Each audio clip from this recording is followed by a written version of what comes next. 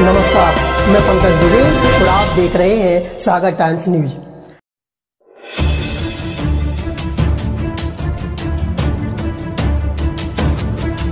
नमस्कार, मैं पंकज दुबे और आप देख रहे हैं सागर टाइम्स न्यूज़।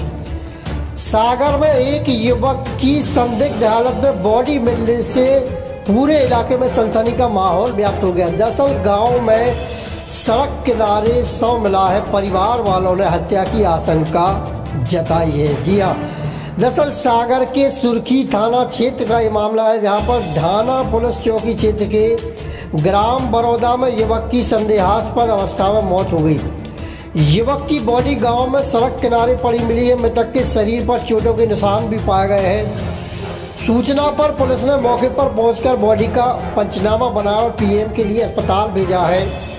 मामले में मर्ग कायम कर पुलिस जाँच कर रही है।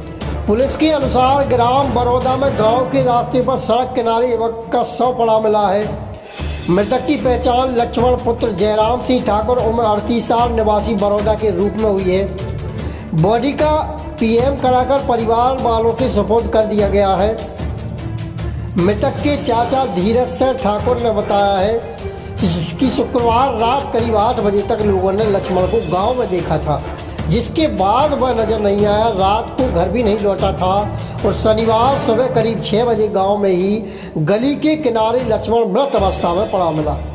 उसके सिर, दाढ़ी सहित अन्य हिस्सों पर चोटों के निशान हैं। जेब में रखे पैसे भी गायब हैं। चाचा ने लक्ष्मण की हत्या होने का संदेह जताया है।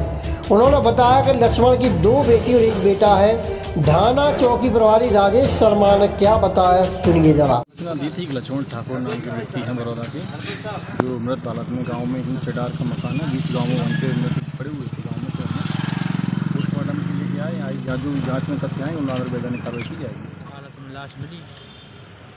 मेरे भतीजी है लक्ष्मण सिंह। लाश गली में गाँव में अंदर गली में बगल में किनारे साइड पड़ी चौकीदार के मकान के पीछे। पास। हमें तो मदद लग रहा हो।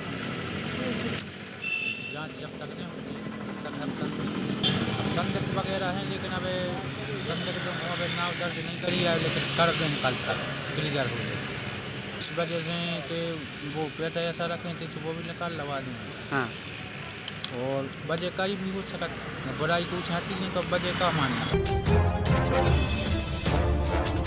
बहरहाल, अब ये देखना होगा कि इस मामले में क्या खुलासा होता है और क्या वजह रही है इस युवक की मौत की बने रहिए हमारे साथ, देखते रहिए सागर टाइम्स।